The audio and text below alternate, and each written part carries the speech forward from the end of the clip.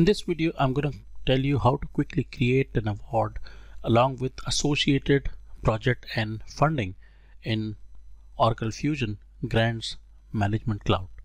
So let's go to Oracle Fusion Cloud and there I'm going to quickly show you. Alright, so I've just logged in as the project manager and as you could see, the dashboard itself has got multiple shortcuts such as a shortcut for going to projects dashboard or to awards dashboard. You can either go from here to create a new award or alternatively you can simply navigate from this navigator and go to grants management and then awards. Both the actions will take you to the same awards dashboard. So this is the award dashboard. Here you can see the status of different awards and the graphical user interface in relation to that. Okay, so once you hover over that, it's gonna fetch more details from the database to give you further GUI interface okay? And that will clearly show you what's the status of that award okay?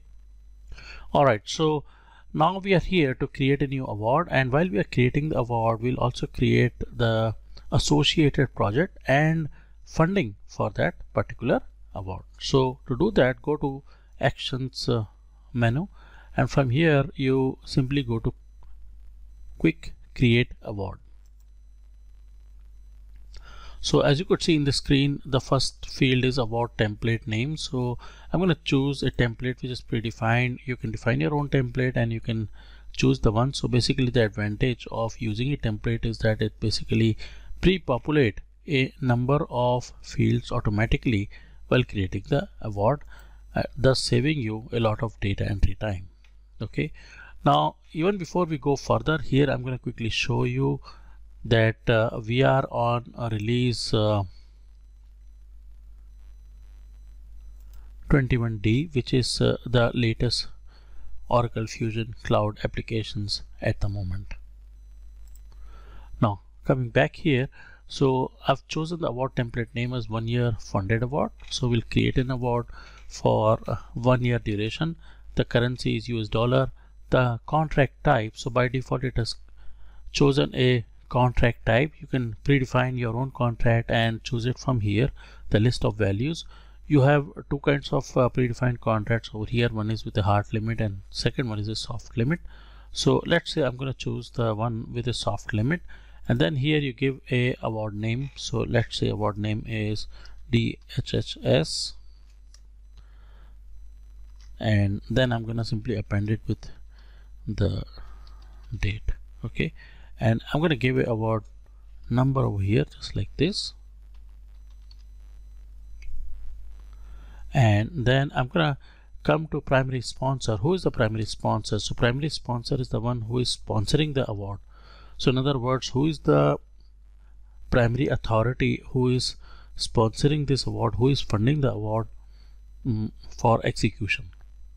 So in this case I'm gonna choose say there are a lot of uh, uh, sponsoring authorities that you can predefine in the system. So presently the system has got a number of predefined bodies already. So I'm going to choose one of them as Department of Health and Human Services, in short DHHS. And then I'm going to choose the start date and end date. So choose it from here. So this is uh, today's start date and let's say we'll end it the same date as end of the year okay? So uh, totally it'll come out to be say one year in total all right and then principal investigator. So basically the role of principal investigator is to own the award and its execution.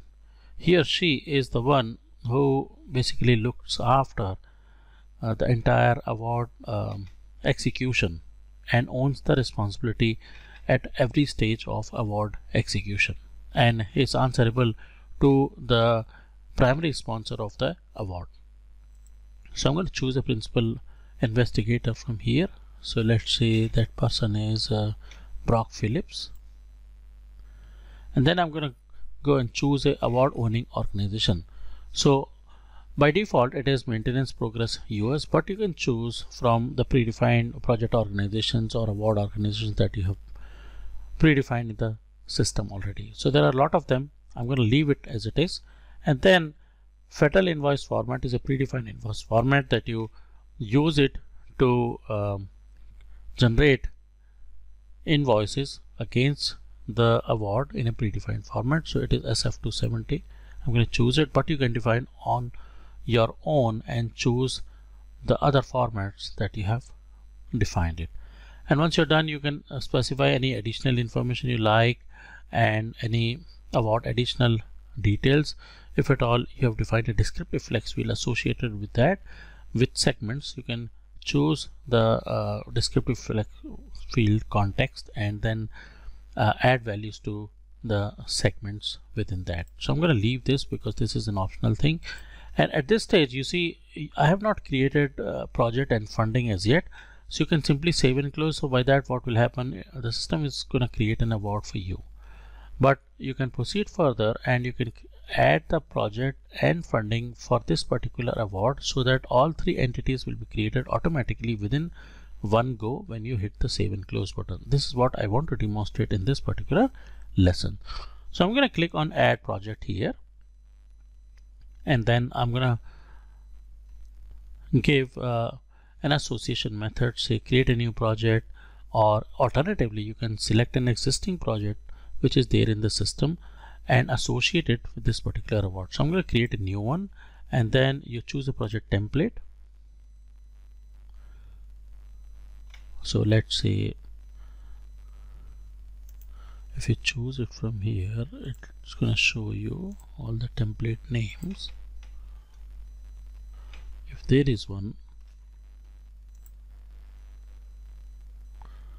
Okay not many choices over here so this is progress uh, business unit it's there. And you see now the project name has come automatically just like the award name it has been copied from award name and the number is also copied from award number if you come down the project manager is also copied from principal investigator from the award details that we have given so project information basic project information has been captured and all the remaining project information will be generated from the attached project template and then we'll go and proceed further to add funding to this particular project. So click on add funding. Let's say the total funding amount for uh, this is uh, say a million dollar which includes direct and indirect funding. So let's say a funding number. So I'm going to give something similar and just for clarity purposes I'm going to append it with F and even for this one um, I don't know if it's it's gonna take this I'm gonna append it with P and let's say this one I'm gonna append it with A. So A stands for award P for project and uh, F funding okay? And the date is let's say starting from today. And direct funding amount let's say eight hundred thousand dollar and direct funding let's say two hundred thousand dollars okay? And this equates to a million dollar uh, funding. And uh, then you can split it further to add uh, funding for resources. You see uh, the hyperlink right at the bottom. So if you click on that you can split it further and add funding by resources if you like. But I'm going to leave it now as it is. And uh, I'm going to leave it at the broader category level of direct funding and indirect funding. And we can later split it as we go along while executing the award and its associated funding amounts. So at this stage, I'm going to simply hit save and close.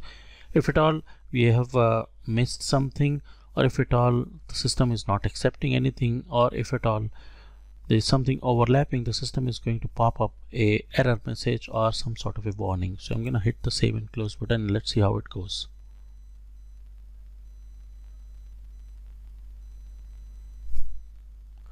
Alright, you see we've got an error.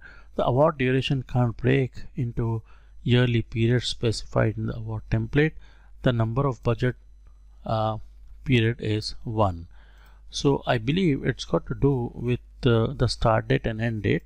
Let's try to adjust this something like this and see how it goes.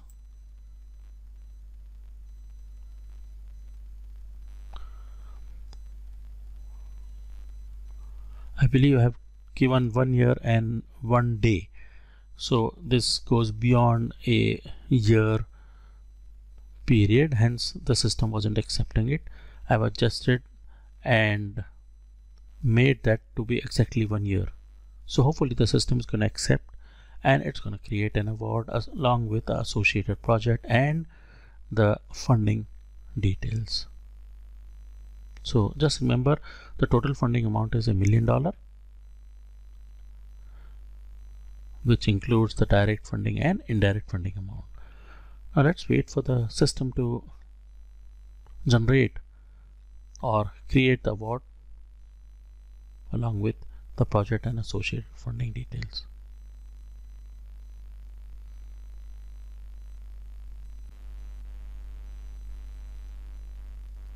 Alright, so there you go.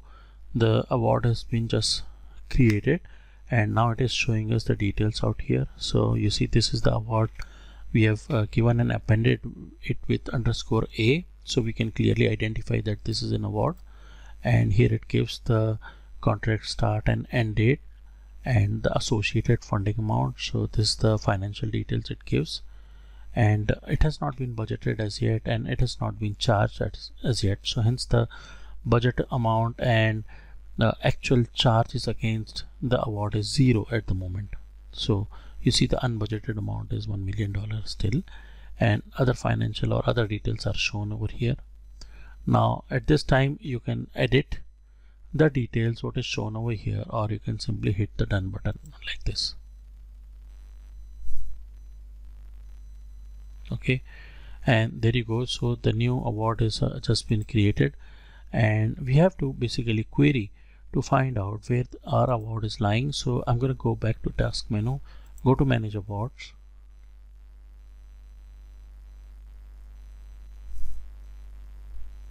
You see our uh, award should be listed over here. You see over here DHHS underscore uh, 10 12 2021 was the name we have given. And here is the award number we have given 10 12 2021 underscore A so basically this is the way you create an award and what's the status right now. You see it is pending approval. And who is the principal investigator? This is Brock Phillips. Other details you can see after you click on this uh, hyperlink over here to see the details of the award and uh, other associated details of the project. You can see it in uh, project dashboard. So if you uh, change if you change the view to projects and look for projects and then there you would be able to see the details. So the entire idea for this movie is to show you how you can quickly create an award and associate it with a newly created project and a funding amount for that particular award